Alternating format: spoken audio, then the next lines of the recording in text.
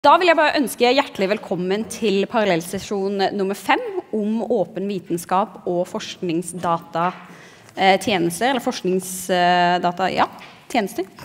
Eh, og nå er det sånn at formatet er eh, eh, tre presentasjoner. 20 minutter hver får man til å prate, og så 10 minutter til spørsmål. Det er dere sikkert veldig kjent med.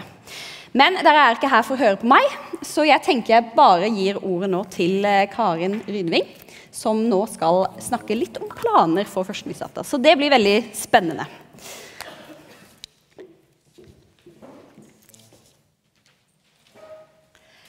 Ja, god formiddag, alle sammen. Jeg heter Karin Rydving og arbeider på Universitetsbiblioteket i Bergen. Och det jag ska presentera här det handlar om hur vår arbetsvardag påverkas och utvecklas vad gäller forskningsstöttetjänster för forskningsdata i UH-bibliotek i Norge. Presentationen är delad i tre delar. Først vil jeg si litt om bakgrunn og tidligere forskning og så om en undersøkelse som jeg har gjort og resultat fra den og til slut kort om diskusjon og konklusion. Ja, varför det här temat? Jo, de nationella forskningspolitiska riktlinjerna i kombination med forskningsfinansiärers krav till datahanteringsplaner och öppen tillgång till forskningsdata mynnar ut i en ökad press på forskningsinstitutioner att ta ställning till hur man ska hantera forskningsdata vid institutionen. Och det knyter tydliga förväntningar till det. Det här aktualiserar ju bibliotekets uppdrag hur ska vi som kunskapsorganisatör arbeta med de här frågorna?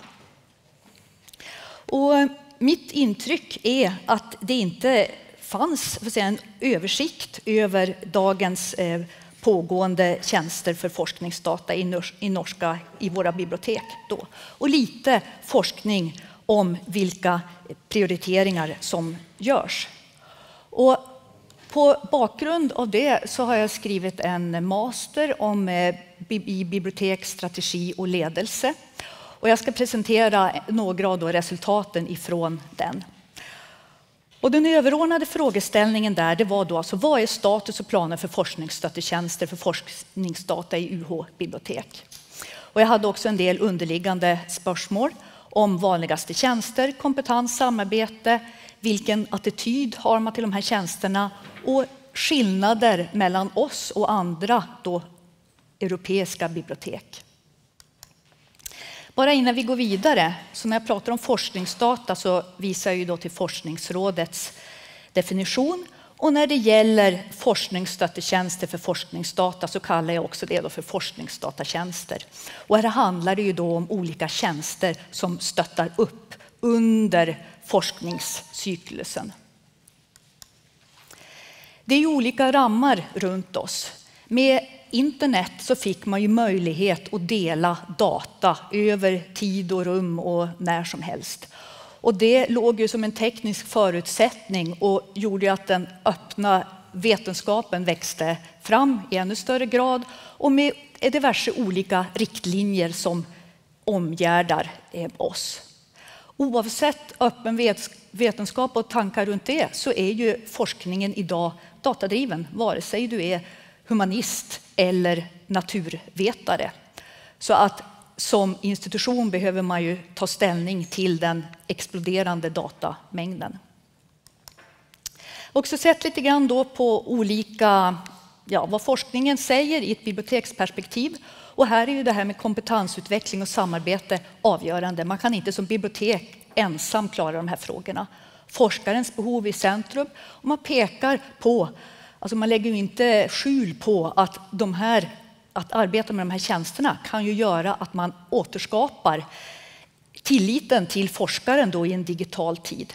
Men man pekar också på att det här med bibliotekens starka nätverk kan ju vara en ulempe för att inte alltid man ser de möjlighetsrum och positioner som finns. Och att vi redan har många existerande tjänster som man kan bygga vidare på med en liten vri. Tidigare undersökningar visar också att det framförallt då är, är rådgivande eller dialogbaserade tjänster som är vanliga att erbjuda i större grad än tekniskt orienterade. Så vad är då den här undersökningen?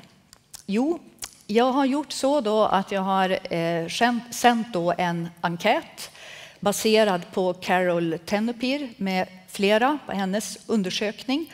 Då med hur man ser på forskningsdatatjänster. Och den skickade jag då till de 32 bibliotekledarna i UHR bibliotek. Den omfattade 17 frågor som hade den här fördelningen om tjänsteutbud, ansvarsfördelning, samarbete och strategi. När jag fick in svaren, det här gjorde jag då före jul, och de svaren som jag fick in var ju då skickade till 32 stycken. Det var 19 institutioner som svarade, så det var en svarsprocent på 59 procent. Och som ni ser så är det ju framförallt universiteten som har svarat, vetenskapliga högskolor och så högskolor. Och det betyder ju att det är en skevhet i det här materialet då framfor alt institutioner med färre än 2000 studenter i högskolor är underrepresenterade. Om vi nu tar den första frågan, ja, vad är det då som är de vanligaste tjänsterna? Enkäten bland annat 14 stycken tjänster som var beskrivna och man blev bett om att ange då i vilken grad man erbjöd de här tjänsterna eller inte. Och de kunde man då dela upp i en slags rådgivande eller tekniskt orienterade tjänster. Och det visar sig ju att för oss här så ser det ju likadant ut som i Europa. Det är framför allt rådgivande forskningsstöttetjänster, dialogbaserade, som vi arbetar och erbjuder med. Och vi är framför allt involverade i policy och strategirådgivning vid institutionerna. Alltså det mörkblå till vänster är ju då att man erbjuder tjänsten och till höger, då det lite ljusare blå, att man inte erbjuder den och mittemellan är det olika tidsangivelser för om man har tänkt att erbjuda den. När det gäller de tekniska forskningsstöttetjänsterna så är de då alltså i mindre grad i bruk. Men den tjänsten som de flesta då anger att de har planer om att erbjuda, det är att arbeta med utväljelse av datasätt till arkiv. Däremot att gå in i en mer sån dataförvaltningsroll där man ska selektera ut datasätt. Det är den tjänsten som man i minst grad vill involvera sig med. Det betyder ju att ibland pratar man om det här området som ett nytt område, men det här är ju ett etablerat område. Eh, när jag ser på det här så ser jag ju att av de här då 19 biblioteken, varav ju alltså de största institutionerna är med, så säger man alltså att man erbjuder tjänsterna och om inte annat så är det då några som har planer om att göra det inom 12 månader. Det var bara en institution som sa att de inte tänkte göra det. Här är också delat upp det som ni ser mellan universitet, högskolor och vetenskapliga högskolor. Det visar sig också att en majoritet av biblioteken har också planer om att erbjuda många av tjänsterna. Alltså man har ambitiösa eh, planer man erbjuder eller man har planer om att göra det då inom en, ja, ett år eller möjligen två år. Om vi går videre bare og ser på hvordan man håndterer kompetens og samarbete så har jo da biblioteklederne, for det er jo de som har svarat her, sagt at de har støttet ansattes kompetanseheving. Og det er jo bra med tanke på at det vil lede til vidareutveckling. Man är väldigt samarbetsbenägen, speciellt då inom egen institution. Och det är forskningsadministrativ avdelning som man arbetar med och samarbetar med och så IT-avdelningen i andra hand. Hälften ungefär svarar att man har då samarbete utanför egen institution. Och då är det framförallt andra universitet som man samarbetar med. Ja, hur har man då tänkt möta kompetensbehovet om man ska växa? Ja, man svarar att man har redan omfördelat personal till området. Och många svarar också att de har tänkt att fortsätta att omfördela personal till forskningsstödjande tjänster. Några svarar att de har tänkt att anställa personal och då är det framförallt eh, universitetsbibliotekarer eller rådgivare som man vill anställa. Och när det gäller vad det är för kompetensdeltag som man stöttar så är det ju precis det som vi gör nu. Först och främst så stöttar man alltså att delta på konferenser. Annars så handlar det mycket om samhandling på egen institution. Jag såg också på i vilka olika fagmiljöer är det som vi deltar, alltså där vi samarbetar med forskare och studenter då inom olika ämnesdiscipliner. Och här är humaniora det område där vi främst är involverade eller till dels då involverade. Det gula anger alltså att man inte alls har något eh, samarbete. Medan ingenjörs och IT-ämnen är där vi har då, och det är kanske ganska väntat också då, där vi har minst samhandling med fagmiljöerna. När det gäller vilken attityd man har till dessa tjänster så är det alltså det blå är då att man är väldigt enig och det orangea att man delvis är enig. Och du ser ni att överlag så är de staplarna höga. Alltså bibliotekledarna säger att forskningsdatatjänster det är ett område som är nödvändigt för att man ska fortsätta att vara relevant för sin institution och att biblioteket erbjuder det. Man bedömer det också så att det vill vara en, en eh, nackdel för forskarna på den egna institutionen när det gäller att få, på, få pengar då, om det är så att biblioteket inte erbjuder de här eh, tjänsterna. Och att man ser för sig att man ska arbeta med alla datasätt, med alla, all typ av data, alltså också, också då datasätt. Jag såg också lite grann då på hur ser då vi ut i jämförelse med tidigare undersökning då som är gjord på ja, andra då akademiska bibliotek i Europa. Och man kan inte jämföra direkt, men man kan se på någon tendens. Och då ser vi att här så skiljer vi oss ut, att vi i Norge är då framför allt, alltså vi, är, samarbetar mer då inom, med, inom humaniora-fältet upp mot fagmiljöerna än i Europa. Och det är också så då att om man ser på naturvetenskapsområdet så är vi i mindre grad involverade och speciellt då inom biologiområdet. Så här finns det ju uppenbart en potential att arbeta vidare med. Lite grann om diskussion och konklusion. Jag såg på de svaren som jag hade i en mogenhetsmodell som är utarbetad av Cox med flera då, för att se hur forskningsstöttetjänster kan placera sig. Och till vänster då i, i y-axeln så är det mogenhetsgrad och så har man då till höger i tidsaxeln. Och här är det då mer sådana grundläggande tjänster så blir de då allt mer avancerade. Man bedömer då att tekniska tjänster med dataförvaltning är mer avancerade. Och vi ligger ju idag kanske då framför allt i ett sånt anpassningsnivå med de tjänsterna som vi erbjuder från våra institutioner. Men vi är representerade på hela skalan. Men undersökningen visar ju på att här förväntar vi ju fortsätta att växa. Så man kan ju tänka att det här nivået kommer att gå upp över tid.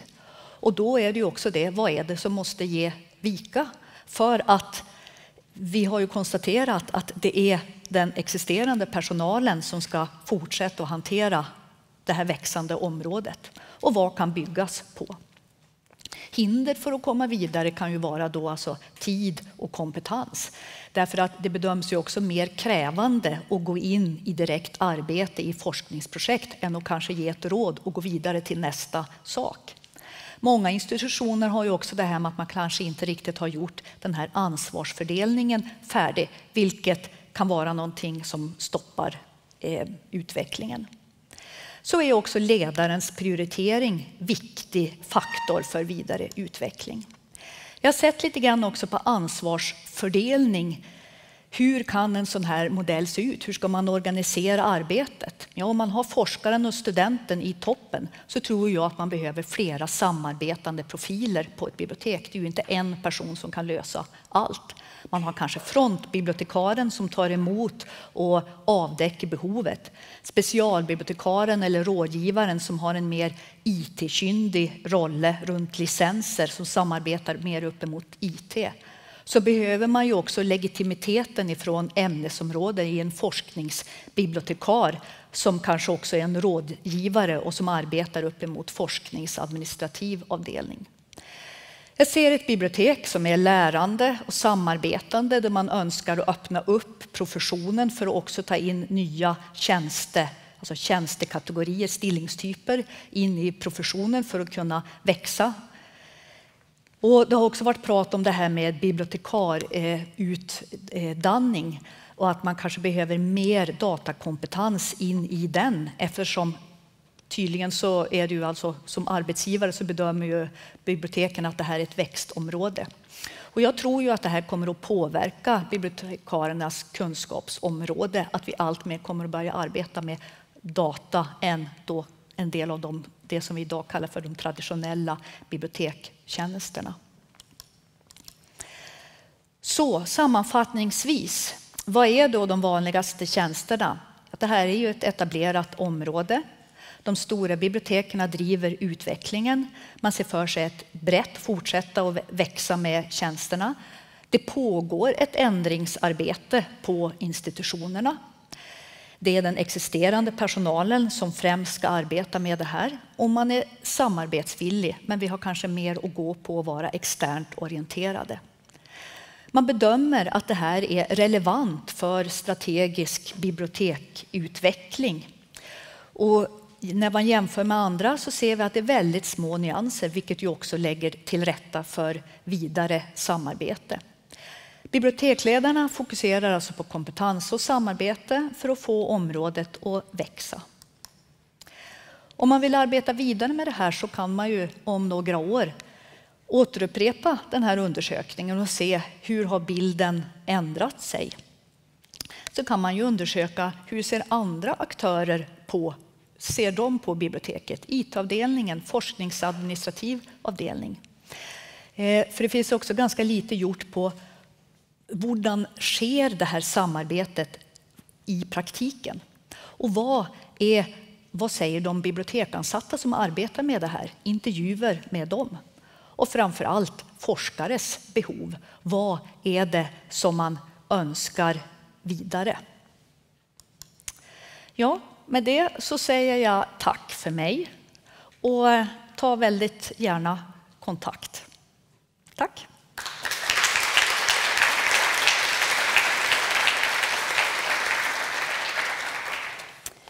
Jeg vil jo si at uh, det var veldig interessant. Jeg tror det er mange av oss som kan kjenne oss igjen av mye av det du sier. Så jeg lurer på om det er noen spørsmål i salen? Ingen som Jeg tenker uh, jeg kan begynne, for du snakker mye om det her med kompetanse. Uh, er det noen spesielle kompetanser du ser at dette er noe vi virkelig må ta tak i nå? Og i tilfelle hvordan tenker du at bibliotekene bør ta tak i det? For det er jo mye at du sa at de omstiller altså Vi ansetter ikke nye, så vi må lære oss nye ting, vi som allerede jobber i biblioteket. Mm. Alltså till det så visar när man går in i de här materialen också när man ser på tidigare forskning alltså så pekas det också på att biblioteket alltså, man har redan ganska mycket kompetens och, eh, men man är inte riktigt klar över det. Och också att en del upplever att de redan arbetar med tjänsterna men att det är inte tydligt för användarna. Ehm, så att det kan, alltså, och sen är det väl också kanske det att vi tagit en generell IT-förståelse ligger som ett baktäppe för väldigt, alltså säga, väldigt många av tjänsterna. Så kanske en mindre rädsla for för datahantering i olika former inom sina områden tänker jag vill vara en, en viktig ting att närma sig mm. det då. då. Mm. Ja. Absolutt. Noen som sitter inne med noe nå, kanskje? Noen som ser Nei. Jeg lurer også på en ting når jeg så på undersøkelsen din, at uh, det var veldig få høyskoler som hadde svart. Mm. Hva tror du grunnen er? Uh... Jeg tenker jo at det er ganske mm. naturlig på så sett at de som redan arbeider med de her tjenestene, har et interesse for dem. Det er også de som har, har svarat. Men at jeg såg bland annat att det var väldigt få alltså högskolor, alltså de som arbetar med fine arts i olika former.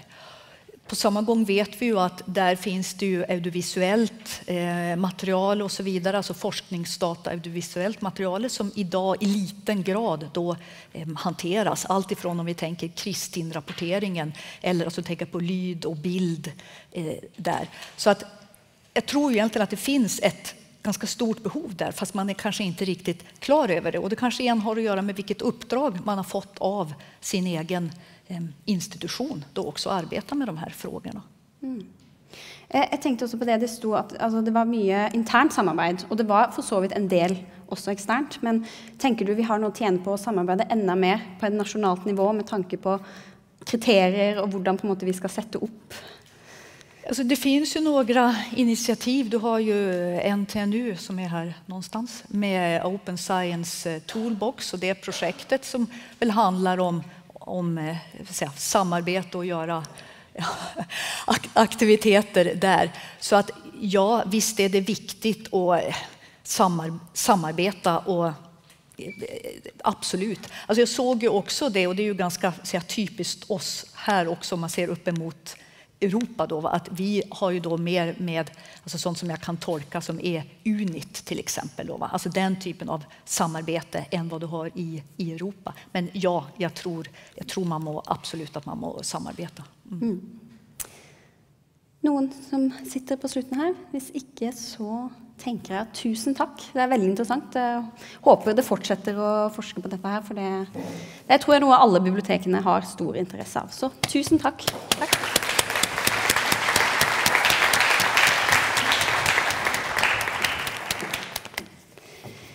Yes, eh, Nå har vi snakka om dette på et litt sånn overordna nivå, og nå skal vi over til en presentasjon som snakker om det her med forskningsdata og studenter. Så det gleder vi oss til å høre litt om. Eh, så da gir jeg egentlig bare ordet til Edina Potsær.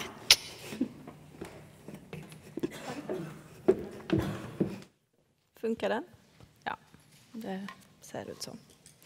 Ja, så Jeg heter Edina Poser, og jeg er fagreferent i geofag ved Realfagsbiblioteket på Universitetet i Oslo.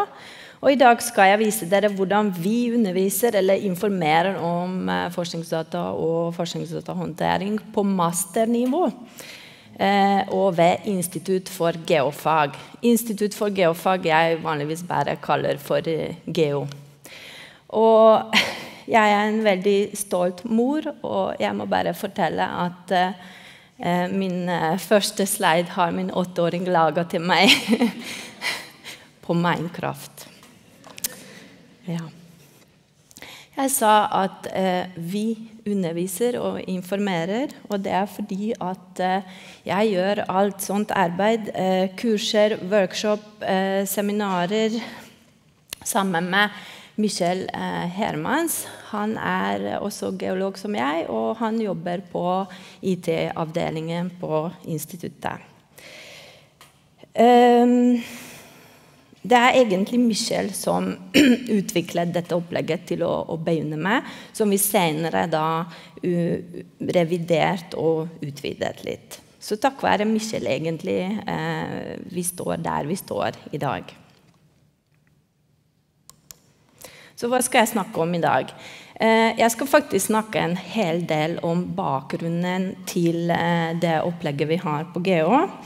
Eh, og så er det det nye konseptet vi har til masterstudentene ved Institutt for geofag. Og forskningsdatahåndtering, selvfølgelig. Jeg skal også vise noen eksempler underveis og nevne noen utfordringer. Til og med skal jeg vise en eh, video.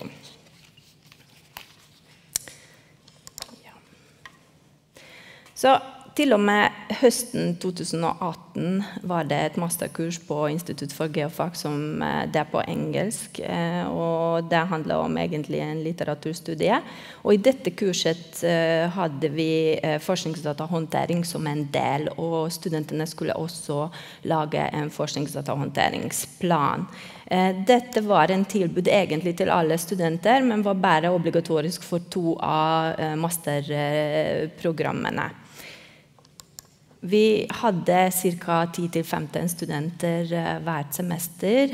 Og det betyr at vi nådde bare ca. 20% av alle masterstudentene på eh, geofag. Og dette var en eh, sånn ca. tre timers økt om forskningsdatahåndtering. Nå har vi nye masterprogrammer på Institutt for geofag, og vi har flest studieretninger på masternivå på Matnattfakultetet. Ti stykk. Og vi hadde uh, høsten 2018 ca. 70 eh, nye studenter. Og vi hadde selvfølgelig utfordringen. Nå har vi ikke GO 42-kurs eh, lenger. Det gikk siste gang den høsten. Eh, fordi det hengte igjen med de gamle programmene. Og vi, vi, måtte jo nå alle masterstudentene med all informasjon de trenger. Og her er det ikke bare om forskningsdata, men selvfølgelig alt som dere ellers gjør med eh, søk, referanser eh, osv. Men heldigvis eh, Tone Gadmar hun presenterer akkurat samtidig med meg nå sitt opplegg. Hun er kjemikeren vår uh, på Realfagsbiblioteket, og hun utarbeidet et veldig fint opplegg på Kjemisk institutt for masterstudenter der for å undervise profesjonell kompetanse. Uh, I samarbeid med undervisningslederen på GEO har vi da tilpasset dette opplegget uh, til GEO og inkludert i den forskningsdatahåndtering. Og dette er da konseptet som vi utarbeidet, som vi kaller for masterseminar. Vi ville ha en eh, logo som studentene kan kjenne igjen. sånn at når det er eh, dags for ny masterseminar hvert semester, da studentene kjenner igjen den. Eh, fordi vi har disse gående på infoskjermer, f.eks. Um, vår matematiker og designer på Realfagsbiblioteket, Karoline, har laga eh, disse logoene til oss som vi kan bruke. Og da hadde vi første masterseminar i fjor høst, eh, i november, med førsteårsmaster. Opplegget er at eh, masterstudentene får invitasjon per eh, e-post. Um, og så er det da påmelding via nettskjema. Eh, håndteringskurset tar eh, ca. tre timer i en undervisningsrom. Alle har med seg laptop, og eh, det eh, går på engelsk. Litt mer om eh, opplegget er at eh, dette, da, denne, dette kurset er en del av en heldagsseminar for masterstudenter og Institutt for geofag, som står for utgiftene, som lunsj og kaffe og slik. Eh, og så er det organisert i samarbeid med studieadministrasjonen. Vi finner data, da, eh, dato, passende dato sammen, og det er de som sender ut eh, invitasjonen fra oss. Eh, undervisningslederen kontakter også de vitenskapelige, også veilederne, for at de skal oppfordre sine studenter å gå på dette seminaret og ta vårt kurs. Fordi kurset er ikke obligatorisk, så dette er nødvendig. Studentene har jo ikke tid til noen ting. Um, innholdet i kurset Studentene får en introduksjon til uh, forskningsdata. Eh, og forskningsdatahåndtering. Og vi diskuterer ulike spørsmål med de. F.eks. Hva, hva syns de hva er forskningsdata? Hva er forskningsdatahåndtering? Og hvorfor er det lurt å lage en forskningsdatahåndteringsplan? Eh, jeg ofte påpeker til studentene at egentlig ved deres eh, masterprosjekt de gjør faktisk forskning, og det de data de produserer, er jo forskningsdata.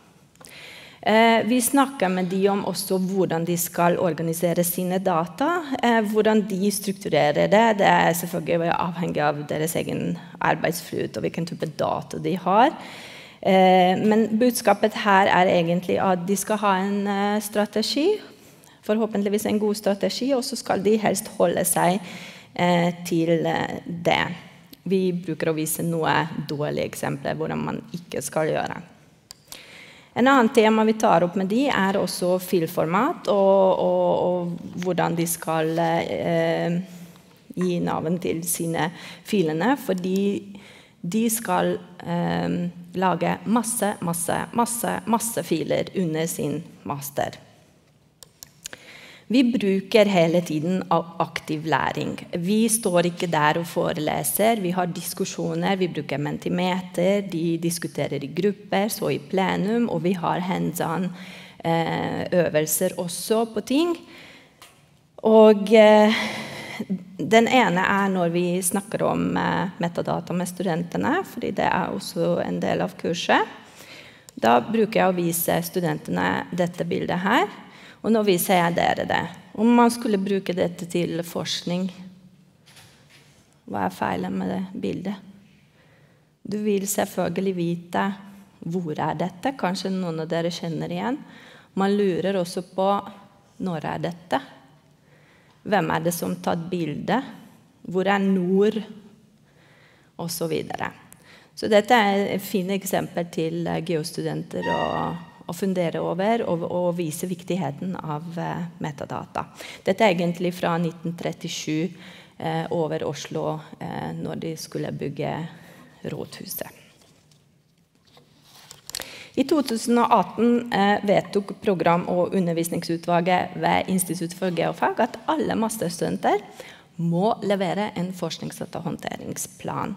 Så det er obligatorisk på Institutt for geofag. Vi er det eneste foreløpig. Og eh, de skal levere dette samtidig med sin masterkontrakt. Eh, fristen var nå da 25.1, og det er veldig greit fordi at denne tiden har de fått sitt prosjekt og veileder, eh, så de har alt i boks. Men hva er vitsen med en forskningsdatahåndteringsplan når de har egentlig så dårlig tid, og vi skal bare gi dem enda en oppgave?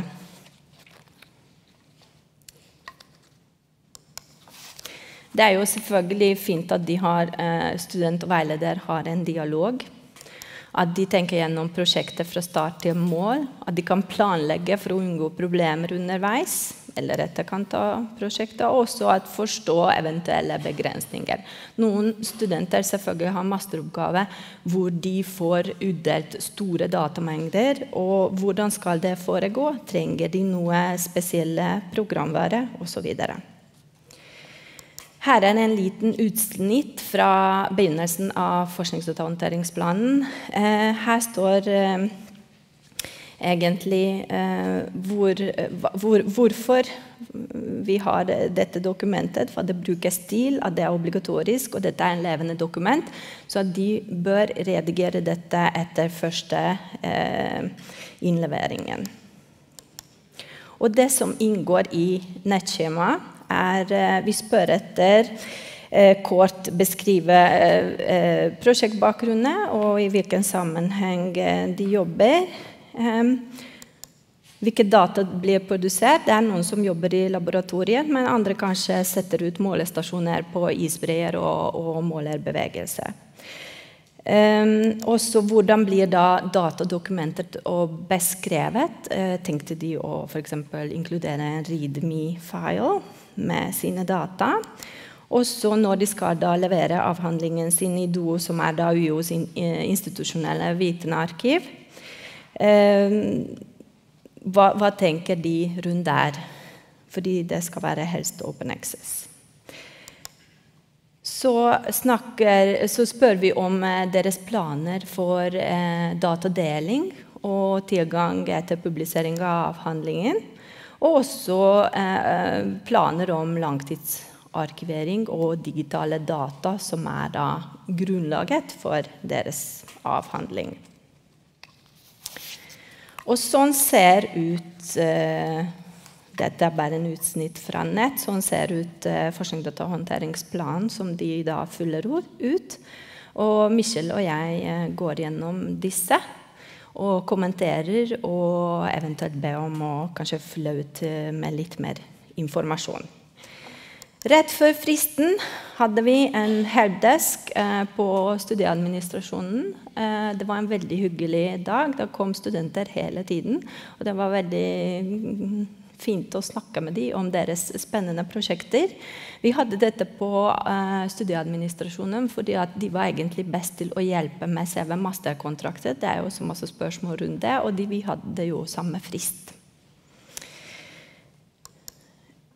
og så til slutt på dette kurset snakker vi om selvfølgelig lagring og arkivering. Eh, ikke bare det etter prosjektet langtidslagring og arkivering, men også lagring under prosjektet. For å oppsummere litt, hva er det vi tilbyr geostudenter når det gjelder forskningsdatahåndtering? Så I første semester har vi da en tretimersøkt med studentene, og det primært handler om generell eh, forskningsdatahåndtering. I andre semester har vi først en helpdesk eh, når de har frist for forskningsdatahåndteringsplan.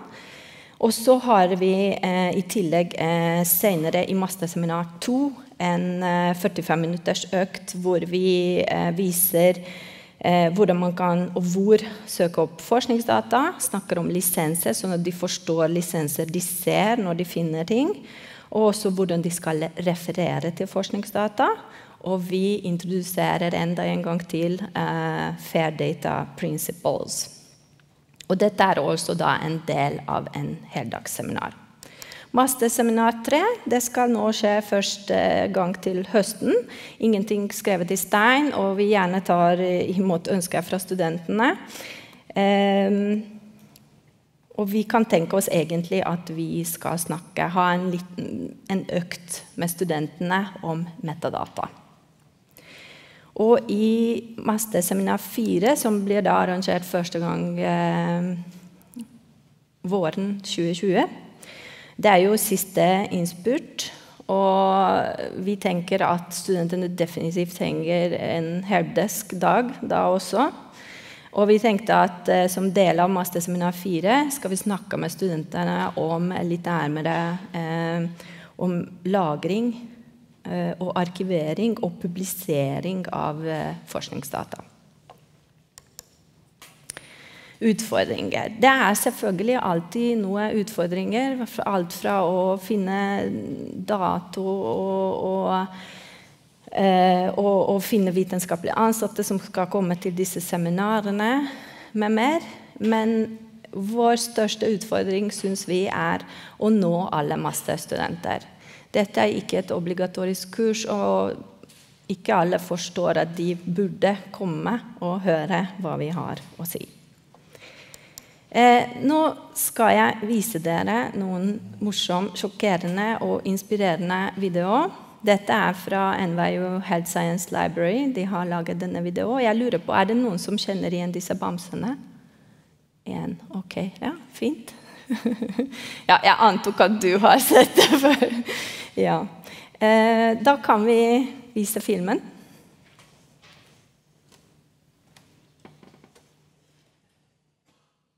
Hello. My name is Dr. Judy Benign. I'm an oncologist at NYU School of Medicine. Hello, Dr. Judy Benign. I read your article on B cell function. I think that I could use the data for my work on pancreatic cancer. I am not an oncologist. I know, but I think I could use the data for my work on pancreatic cancer. Do you have the data? Everything you need to know is in the article. No. What I need is the data. Will you share your data?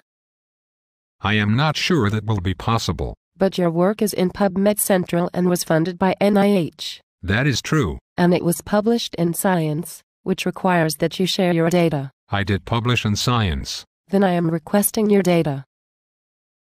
Can I have a copy of your data?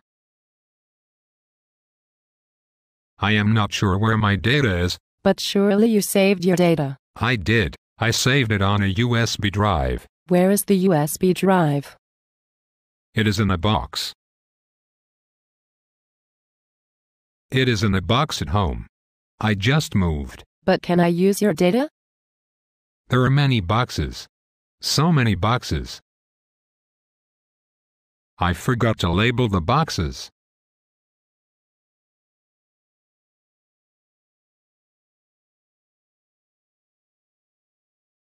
Hello again.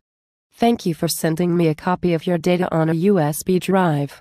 I received the envelope yesterday. You are welcome, but I will need that back when you are finished. That is my only copy. I did have a question. What is your question? You might find the answer in my article. No. I received the data, but when I opened it up, it was in hexadecimal. Yes, that is right. I cannot read hexadecimal. You asked for my data and I gave it to you. I have done what you asked. But is there a way to read the hexadecimal? You will need the program that created the hexadecimal file. Yes, I will. What is the name of the program? Cytosynth. I do not know this program. It was a very good program. The company that made the program went bankrupt in 2007. Do you have a copy of the program? I do not use this program anymore because the company that made it went bankrupt. Maybe you can buy a copy on eBay.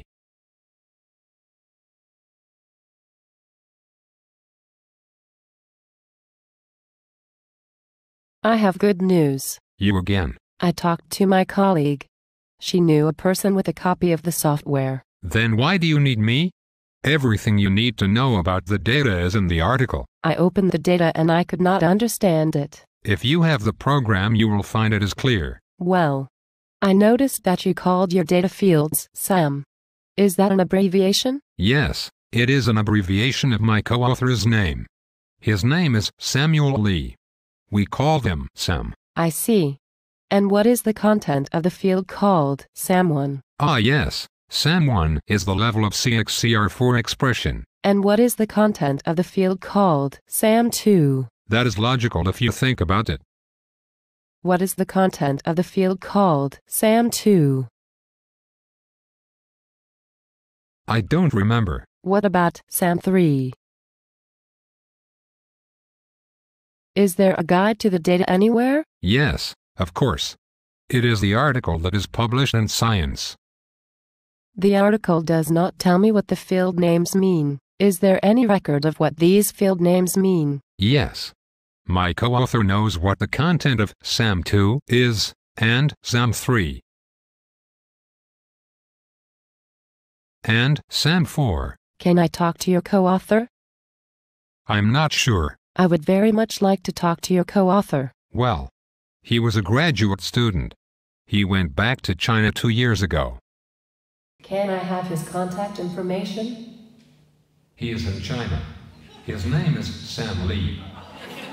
I think I cannot use your data. You could check the article to see if what you need is there. Please stop talking now.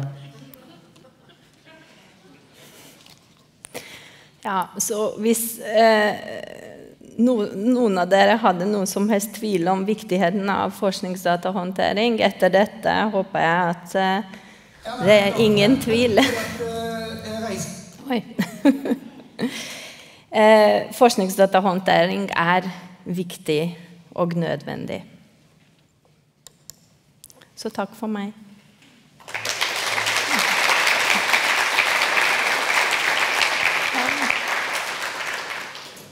Yes, Det er jo kjempespennende, eh, spesielt det her med å involvere studentene. Så jeg lurer på, Er det noen spørsmål eh, nå til å begynne med? Veldig beskjeden i dag. Nei, da har vi en. Hvis vi kan få en mikrofon over der.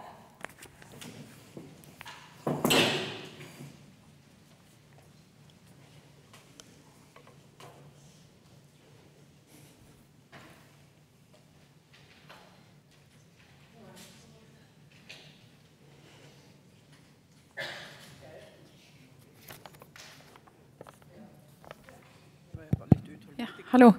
Eh, Ingrid Heggeland, NTNU. Tusen takk for en kjempefin presentasjon. Um, det jeg lurer litt på er, Har dere tenkt å gjøre dette på andre institutt? Og kanskje ikke du spesifikt, men de andre på Ja, definitivt. Eh, også ved UB. Det er en gruppe som, eh, som jobber med saken. Men eh, takk være Michel og hans eh, mange år i arbeid, og at eh, vi har mast mye på instituttet, eh, så, så, dette gikk gjennom. Eh, og nå obligatorisk. Ja, og relatert til det, Tror du det er viktig å ha Geo som et eksempel når du skal overbevise de andre om at dette er en god idé? Ja, jeg syns det kan eh, godt brukes, fordi det fungerer veldig bra. Og jeg viste ikke i dag, men alle de eh, eh, skjema studentene fulgte ut etter eh, øktene vi hadde. Vi får veldig positive tilbakemeldinger. Så definitivt, jeg syns folk kunne bruke det. Yes. Noen andre spørsmål? Jeg bare tenkte det, Nå sitter sikkert mange her og tenker det her var en kjempegod idé. Eh, men hva er da tipset hvis når vi begynner helt på scratch? Hvis jeg skal hjem og liksom tenke ok, nå skal jeg få involvert masterstudentene. Hvordan ja, Det er to ting som er veldig viktige, som, som hele tiden kommer opp og gjentar seg. Og det ene er at man må ha ordentlig samarbeid med instituttet. Eh, at de har på en måte en eierskap til dette. Eh, her er det da Michelle og jeg som jobber sammen, og heldigvis vi har også undervisningsledere på instituttet eh, med på laget, og studieadministrasjonen, ikke minst. Uten dem det ville ikke funket. Og en andre ting er at alt vi gjør, vi gjør fagspesifikk. Og even innenfor geofag vi gjør mer og mer fagspesifikke eksempler, fordi kanskje en meteorolog er ikke like interessert i geografi eller i eh, mineralogi for en geolog. Så det, vi prøver å gjøre alt så, så mye som mulig fagspesifikk. Og så lurte Jeg også på, eh, jeg har jo hatt erfaring med ansatte, og de, det er mange som syns det er komplisert med dette med filformater og alle mulige ting. Var det samme opplevelse med studentene, eller hvordan tok de dette her med forskningsdata?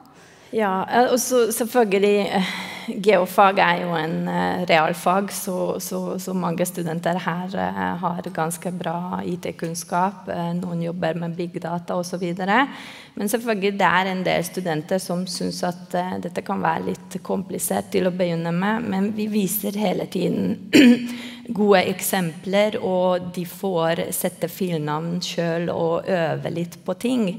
Eh, og da ting eh, går i boks ganske fort. Det er min inntrykk. Mm. Og de ser nytten av det òg? Ja, ja, absolutt. absolutt. Mm. Det, det, er fordi at eh, vi også bruker å vise dem masse ting fra PhD Comics. og de kjenner seg igjen bare fra tidligere oppgaver eh, når de har 65 eh, versjon på samme ting, og de vet ikke hvilken som var siste versjon, eh, osv. Så, videre.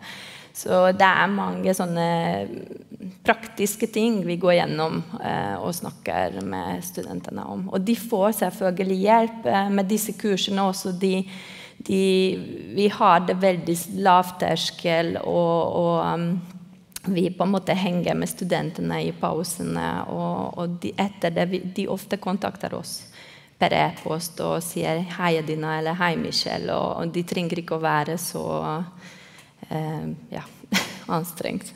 Mm. Yes. Noen siste spørsmål relatert til dette? Nei, men det tusen takk. Det var et kjempeinspirerende innlegg.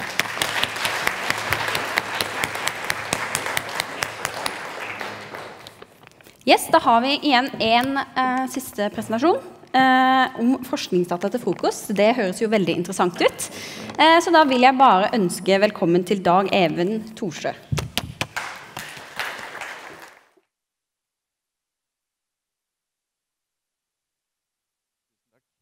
Er den på, eller? Ja.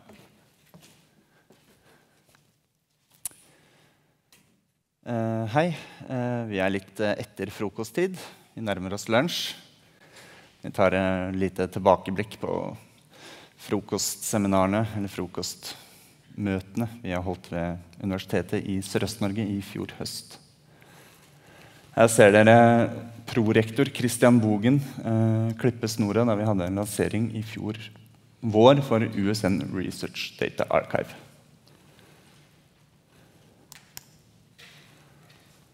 Universitetet i Sørøst-Norge altså, vi er et ganske spredt universitet. Du har eh, lokaliseringer fra tjukkeste Telemark, Rauland, til Hønefoss i Ringerike. Det er eh, drøyt 20 mil mellom de stedene. Jeg vet det er eh, representanter her fra lenger nord i landet med vesentlig lengre avstander mellom campusene. Men i eh, hva skal vi kalle det, østnorsk målestokk er det ganske langt. Så vi er spredd utover et ganske stort geografisk område. Vi er også spredd utover et ganske stort faglig område. Vi har mye helse- og sosialfag. Mange tekniske fag, ingeniørfag f.eks. Og så har vi alt dette imellom. Altså alt fra folkemusikk til optometri. Så dere kan kanskje tenke dere selv at når man skal nå ut til alle disse, altså dette store faglige spekteret og denne store, altså dette store området, hele Sørøst-Norge, så er det ikke så lett å lage én mal som vil passe for alle.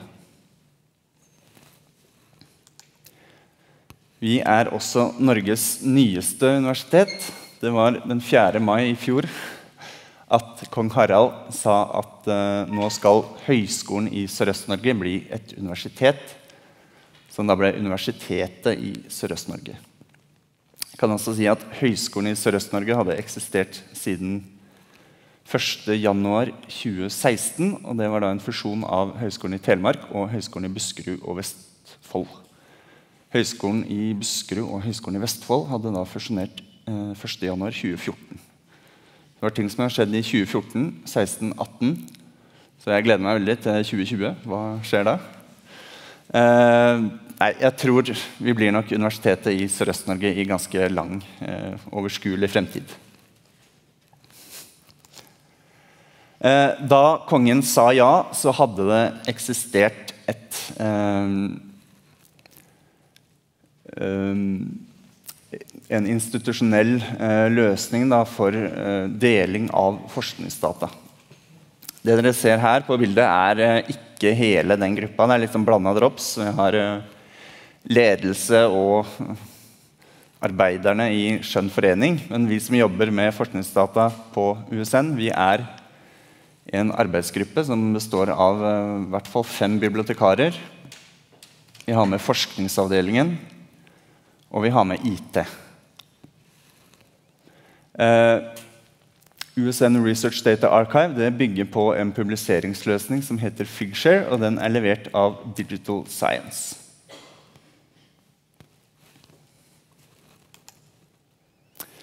så tør jeg stille dette spørsmålet Var det tilfeldig at bare en drøy uke etter vi lanserer dette arkivet, så sier, ja, sier kongen ja til at vi skal bli et universitet? Ja, det tror jeg vi kan si ganske garantert. Det var, eh, det var i hvert fall ikke bare USN Research Data Archive som gjorde at kong Harald sa ja. Kjør på. Fordi dette med kommunikasjon det er ganske vanskelig. Eh, som, dere, som, jeg nevnte innledningsvis. Vi er en stor institusjon. Og vi er, vi er store altså fysisk spredt utover store områder. Og, altså både geografisk og faglig. Eh, da vi lanserte dette arkivet, så hadde vi jobba lenge med forskningsdata. Vi hadde jobba tre-fire år, tenker jeg. Eh, vi hadde laget nettsider. Vi hadde klart et undervisningsmateriale, og vi hadde testa eh, dette systemet, altså Figshare, både med eh, representanter fra, fagmiljøene og vi som bibliotekarer hadde jobba mye med det her. Vi hadde fått kobla til Feile som innloggingsløsning, og vi følte oss veldig godt forberedt. Noe av det siste vi gjorde eh, før lansering, var å ta en studietur til Universitetet i Tromsø, som da er eh, Det vet dere sikkert, men det er et veldig velsmurt maskineri når det kommer til håndtering av forskningsdata. De er veldig flinke. Eh, vi var der, ble veldig inspirert, lærte masse. Og vår plan var å legge oss på ganske lik linje Eh, som eh, Universitetet i Tromsø, da, både med undervisningsopplegg og den brukerstøtten som de tilbyr. Og Vi jobba også ganske hardt for å nå ut, for å spre dette budskapet. Vi hadde en lanseringsfest. Eh, daværende viserektor Pål Augestad var eh, på vårt lag. Han brukte sine kanaler til å informere om det her. Vi informerte på intranett, eh, sendte e-poster og lobba ganske mye, prata mye om det i gangene. Eh, så vi hadde jobba mye, men til tross for alt dette arbeidet så var responsen eh, ja, Det var ganske illustrerende, den filmen vi nettopp så. Den var avventende. Avvisende er kanskje å ta litt hardt i. Det var ikke noe aktiv avvisning. Kanskje litt sånn ignorering er mer eh, passende ord. Hvis jeg sitter helt stille i båten nå,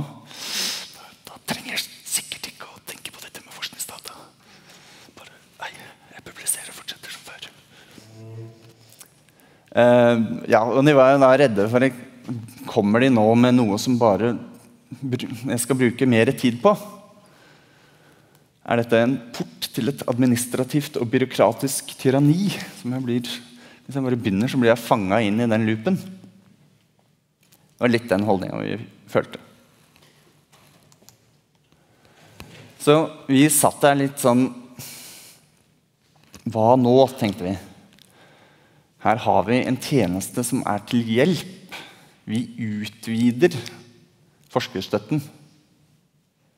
Det er en pågående endring eh, rundt del, altså Open Science deling av data, deling av alt, den kan man ikke snu. De kommer til å bli fanga inn i det av krav og forventninger fra forlag, eh, finansiører, ja, arbeidsgivere. Hele, hele, kulturen, hele verden. Og vi er der for å hjelpe. Vi skal ikke gi dere mer arbeid, vi skal hjelpe dere til å gjøre dette arbeidet enklere.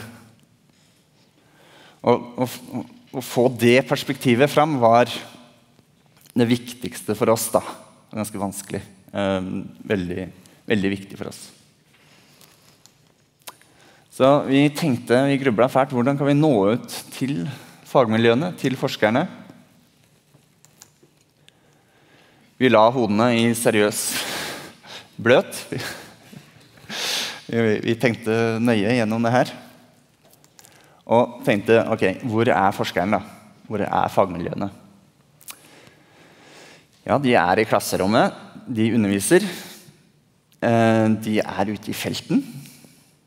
De samler inn data aktivt. De er på laboratoriet, jobber med dataene. De sitter på kontoret sitt. Og ja, de er kanskje innom biblioteket av og til. Det hender, men ikke så mye og så ofte som vi skulle ønske. Så vi skjønte at Forskerne er ofte på steder som er litt utilgjengelige for oss. Vi har de når de er i biblioteket, men ellers så har de en øh, ja, aktiv og travel hverdag. Men de smiler og hilser, i hvert fall i kantina. da. Der treffer jeg jo sier hei og slår av en prat.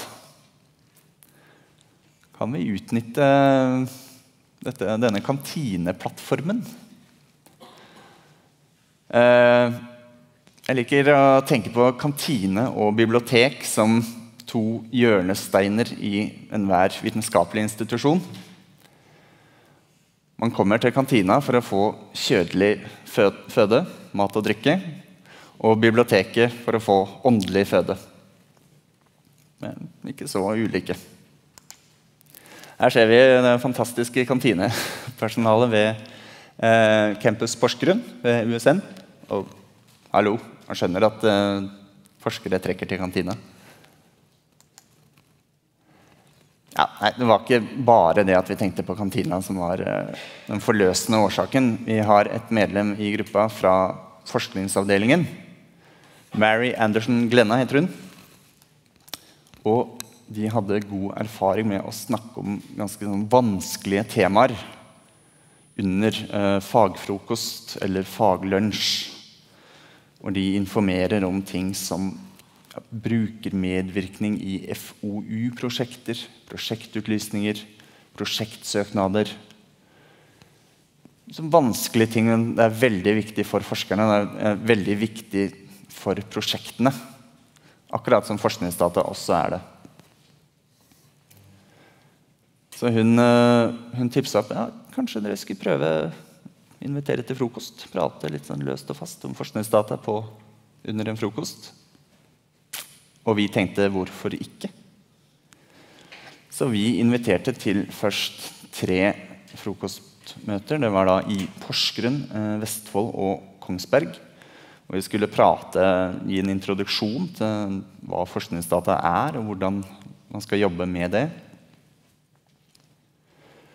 Og disse frokostene skulle da altså peke frem mot eh, påfølgende undervisning. Da, som vi hadde, vi hadde først en runde med frokoster, og så en runde med undervisning. Så for å forberede litt på den eh, undervisninga og re reklamere litt for den, inviterte vi til frokost. Og da fikk vi heldigvis veldig god respons. Eh, vi fikk over 100 påmeldinger. Det var ikke alle som møtte opp. Eh, men det var mange som møtte opp. Og vi fikk eh, også ønsker om hvorfor kommer dere ikke hit. Porsgrunn, Vestfold og eh, Kongsberg skal de få, men kom hit også. Så vi måtte utvide runda til også å inkludere Bø, eh, hvor da Bø og Notodden i Telemark det er ikke så langt unna, så da fikk vi de som ønska fra Notodden, de tok turen til Bø. Og vi tok også eh, en sesjon i Drammen. Da holdt vi fem frokoster. Og da fikk vi veldig verdifulle tilbakemeldinger. Jeg skal prate mer om de etterpå. Det viktige her er ikke det fjolset der, men fraværet av mat. Her er vi i Bø. Vi måtte faktisk vi måtte hente nye forsyninger av mat på den seansen. Da ser vi da dette mennesket som søker mot mat. Så, mat det vekker jo ganske naturlige instinkter i oss. Kanskje det var noe av grunnen. Eh, og ved å møtes ansikt til ansikt så fikk vi også altså Å møtes på en ganske uformell måte. Da fikk vi tatt opp store og små spørsmål. Eh, som de sitter med da rundt dette med å håndtere forskningsdata. De har ett perspektiv, vi har et annet. Jeg er bibliotekar. Vi er opptatt av å dele. Vi var veldig fokuserte på denne 'dere skal dele'-biten. Mens de hadde mange spørsmål som de trengte å klarere før de følte at det her var noe de kunne dele. Noen eksempler på disse tilbakemeldingene er eierskap til data. Vi sier til forskeren du er ansatt ved USN. Vi gir deg tid og penger. Eh, dette må du dele, og da gjerne i liksom USNs navn. Forskeren sier ja, det stemmer, men jeg jobber også med fem andre forskere på tvers av fem ulike institusjoner, på tvers av landegrenser. Skal USN bare si at nei, dette, dette skal du dele i USNs navn under vår paraply? Det var ikke noe alle følte var riktig. Vi sier eh, skattebetalerne offentligheten finansierer forskning. Dette må komme offentligheten til gode. Dette er et demokratisk prinsipp. Forskerne sier ja, mye forskning skjer på den måten. Men mye forskning er også oppdragsfinansiert. Det kommer fra næringslivet. De har betalt millioner for at vi skal få mulighet til å forske på det her. De vil ikke at vi bare skal dele dette, i hvert fall ikke med en gang. De, de, vil jo dra nytte av den kunnskapen som kommer fram under denne forskningen. USN har eh, kanskje stått for logistikk, organisering, men millionene kommer fra næringslivet. De vil ikke at dette skal deles. Det er vanskelig å anonymisere. Det er veldig mange problemstillinger rundt dette. Um, mye av USNs forskning foregår på Nav-kontoret, på barnevernsvakta. Det er mulig å anonymisere personopplysninger. mulig å anonymisere mye informasjon. Men hele konteksten, hele den historien som ligger bak, den lar seg gjennomskue. Vi har uh, lova våre respondenter at vi skal slette alt dette. Vi kan ikke bare gå, tilbake på det. Og dette systemet dere snakker så mye om, ja, greit. Det kunne vært mye bedre. Og vi hadde altså et eh, stort eh, Vi mangla liksom rutiner rundt eh, lagring og håndtering av mange typer informasjon ved USN. vi trengte å eh, få ordna opp i. Og ja, dele på Internett. Litt skummelt. Ganske skummelt. Mange myter, og ja, noen av de har kanskje noe for seg.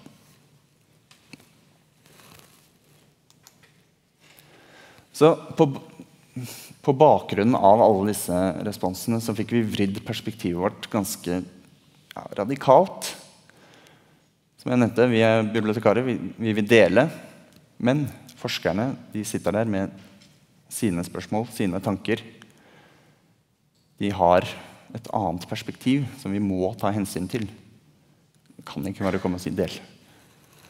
Så i tillegg, da Men vi jobber jo selvfølgelig med å dele. Det er jo en, stor del av arbeidet. Eh, men vi oppdaga at veldig mange spørsmål vi får, de kunne vært avklart tidligere hvis de hadde skrevet en god datahåndteringsplan. Datahåndteringsplan var noe vi var forberedt på å jobbe med. Men vi skjønner hvor viktig det er nå. Vi veileder i, vi hjelper dem å installere og bruke TSD til de prosjektene med da, disse sensitive personopplysningene som trenger det. TSD, TSD er da tjeneste for sensitive data, levert av Universitetet i Oslo. Eh, vi hjelper dem å bruke nettskjema til å sende ut eh, spørreskjemaer til respondenter. Og vi har fått orden på disse andre lagringsområdene. Eh, både interne serverområder og eksterne skytjenester. Behandling av lyd og film er vanskelig. Det får vi spørsmål om. Og de lurer på må vi melde inn det og det til NSD. Hjelper det litt med kommunikasjonen der. Og da ja, personopplysninger som er ganske komplisert. Det er mange aspekter rundt dette med personopplysninger som vi får spørsmål om. Eh, vi har fortsatt mye å jobbe med. Eh, forskere ønsker jo da å sant, arbeide på tvers.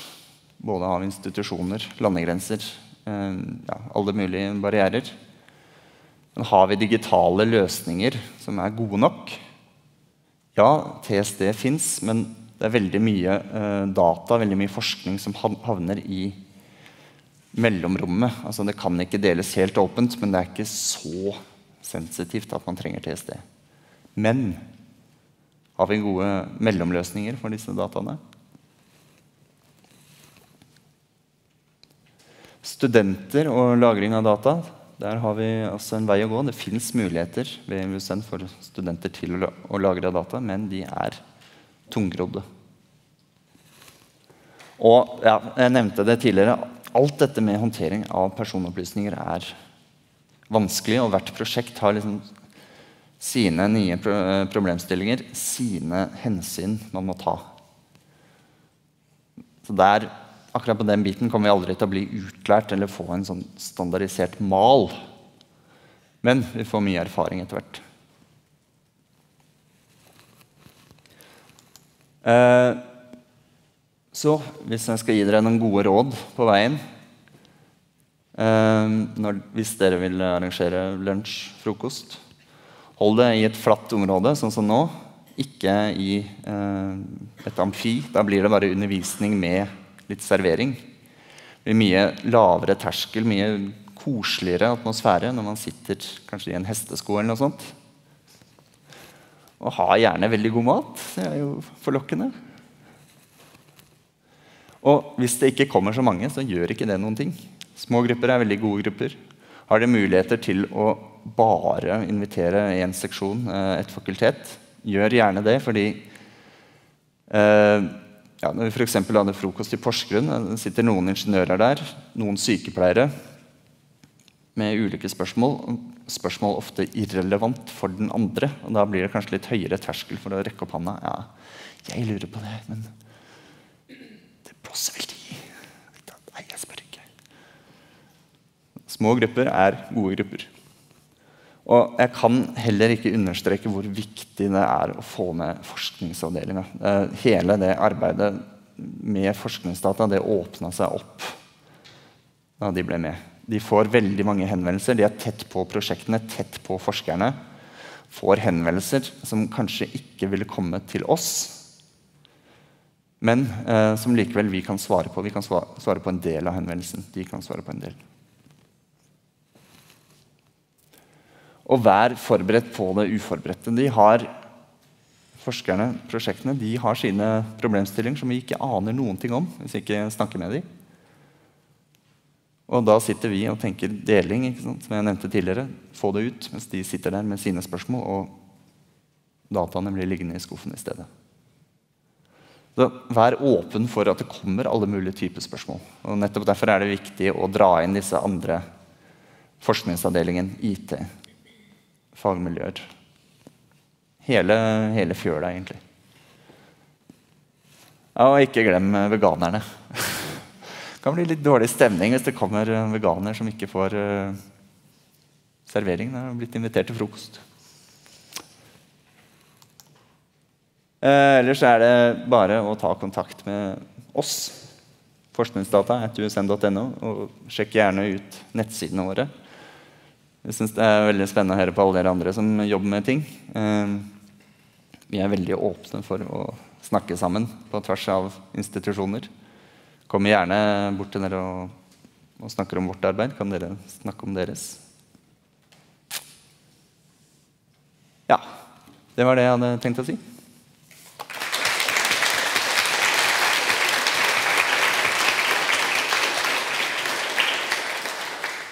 Yes, det var også spennende. Jeg regner med også mange kan kjenne seg igjen i det her med å få tak i ansatte. er ikke alltid like lett. Eh, så er det noen spørsmål eh, til dette? Da har vi en mikrofon som kan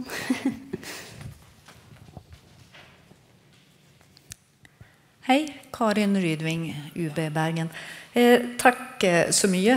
Dels så tenker jeg bare sånn en kommentar til det som jeg snakket om tidligere. og Det gjelder jo både Idinas og ditt innlegg. at Alt det her er jo eksempler just på de her 14 undersøkte tjenester. Det føyer seg jo inn i de kategoriene. Mm. Mm. Så snakket du om eh, at over Oi. At det var för, der. Så snakket du om at det var over 100 eh, påmeldte. Eh, kan du si noe om altså 100 påmeldte av hva da? Eh, for, eh, for, for noe? Eh, då, altså, vet, du, du, måste jo ha et ja, nei, vi har väl... på antall. Det var det, var det ene bare som jeg lurte på. Og så tenker jeg på, såg dere noen effekt eh, etterpå? Skjedde det noe da? Og så tenkte jeg faktisk på en sak til også. Det var, jeg fikk ikke riktig tak i hvordan dere organiserte de her frokostmøtene. Altså Satt folk og rakk opp eh, handen, eller var dere mange som satt og intervjuet folk? Eller ja. hvordan gjorde dere det i ja, praksis? Det kan jeg si litt om.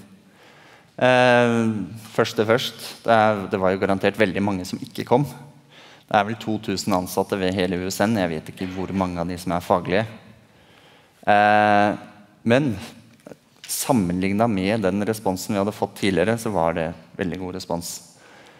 Eh, måten de frokostene ble lagt opp på, var at eh, jeg, hadde, jeg viste hvordan USN RDA fungerer. Jeg viste nettsidene våre.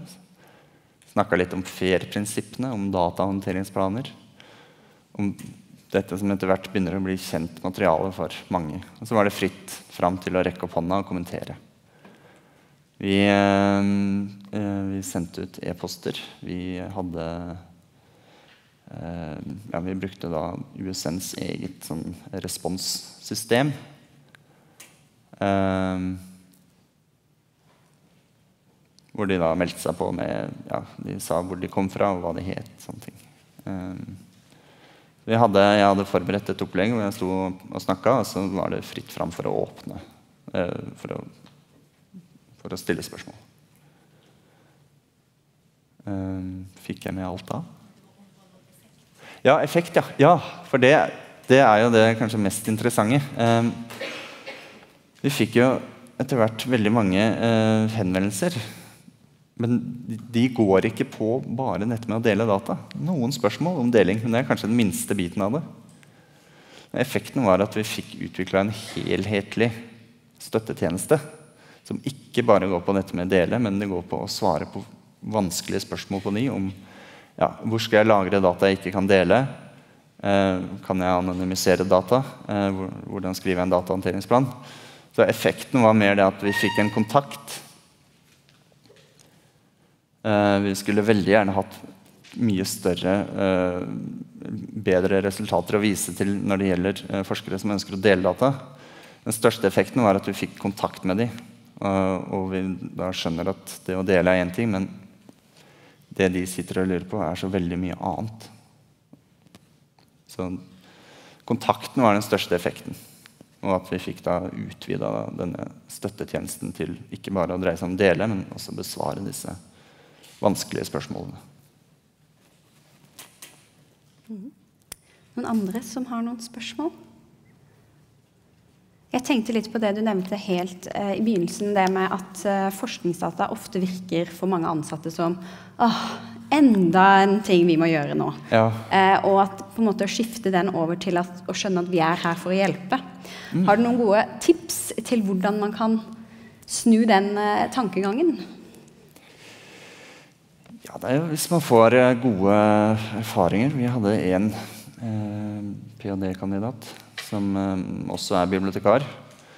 Hun delte data og fikk eh, da en forespørsel fra Meteorologisk institutt om eh, de kunne bruke hennes data. For de hadde, det var noen temperaturmålinger på Lesja, tror jeg. og de hadde hull i sin samling. Hun fikk, hun fikk en forespørsel og spurte kan vi kan vi bruke disse dataene. Selv om det lå åpent. da.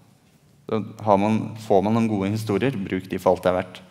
Jeg fikk en veldig positiv eh, henvendelse fra en uh, forsker som eh, skulle publisere en artikkel.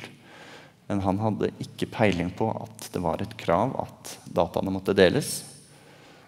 Så jeg tror det var Samme dag som eh, frokosten i Porsgrunn så fikk jeg en mail hvor det sto 'Takk for at USN-RDA fins'. Altså, deler jeg for alt det er verdt. Så får man få, eh, Men det er vanskelig. Uh, vi skal ut til ph.d.-kandidatene nå. Begynn tidlig. Fantastisk at også masterstudentene ved uh, Universitetet i Oslo får informasjon. Det, vi får mange tilbakemeldinger om at dette er viktig for studentene. Um, så bruk de suksesshistoriene som kommer, men ellers så er det Det meste av data som deles, det er fordi data må deles fordi det er krav fra forlaget. Så det er, vanskelig å vri der, det store tankskipet rundt. Eh, så det noen effekt ved å ha disse frokostmøtene at det da ble lettere å få de ansatte med på andre kurs etterpå? Eller er det fortsatt bare frokosten de, de eh, kommer på? Eh, vi hadde da disse kursene, eh, fire kursbolker. Altså fire sesjoner, fire skoletimer med kurs. Og eh, det var eh, grei deltakelse på de. Det var ikke så mye som frokostene, men vi fikk tilbakemeldinger på at de har ikke fire timer å sette til det her. Så ja, det, er, er viktigere heller å åpne den døra til at de kan stille spørsmål når de har tid. Og vi vil veldig gjerne komme ut og snakke for prosjekter, holde workshops og sånne ting. Vi kommer til å gjøre det framover. Eh, litt på deres premisser, men tid er mangelvare. Eh, fikk tilbakemelding på ja, det her er veldig interessant. Jeg har ikke tid. Men eh, definitivt, det hadde, hadde det, det kommer jo flere enn på disse undervisningssesjonene enn det ville gjort hvis vi ikke hadde holdt frokostene. Det er jeg helt sikker på. Yes. Noen siste spørsmål? Ja. Det er Tord Augland, Universitetet i Agder. Litt mer sånn kuriøst. Ja. Altså Forskningsdata det kan vel omfatte mer enn bare sånn rene tekstmessige data. Det kan altså Ja. omfatte biologisk materiale og kjemisk materiale og sånne ting. Har dere vært borti noe sånt? Eh, vi har jo eh, mange som er glad i å sprenge ting ved Universitetet i, i Sørøst-Norge. Eh, så vi har eh, Men det er det videomateriale. Vi har ikke noe sånn fy, Tenkte du på fysisk Ja, det kan være blodprøver Ja. og sånne ting. Nei, det har ikke vi noen ting, noe befatning med. Men eh, vi vil gjerne at alle som har slike typer data, vi vil gjerne at de deler metadataene. Ja. Vil at de deler informasjonen om det, men vi har ikke noe sånn fysisk deponi. Nei. Nei, nei, nei. Men det hadde vært veldig interessant. Ja, jeg bare synes det var Ja. litt sånn Ja, jeg, Ja, det er, jeg eh, tenker sånn. ja, forskningsdata er jo mye, og vi får den derre Vi fikk i hvert fall den derre standard tilbakemeldingen at jeg, jeg har ikke forskningsdata. Og da sier vi at eh, forskningsdata for en forsker det er like naturlig som alle bakteriene vi har på kroppen. De er der overalt. Også fysisk.